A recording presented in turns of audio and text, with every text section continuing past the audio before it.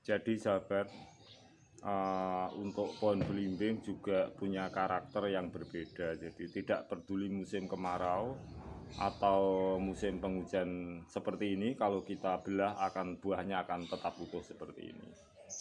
Jadi salah satu solusi untuk mengatasi agar belimbing tidak dimakan lalat buah, tidak busuk di saat musim kemarau atau hujan lebat harus dibungkus sebelumnya kawan.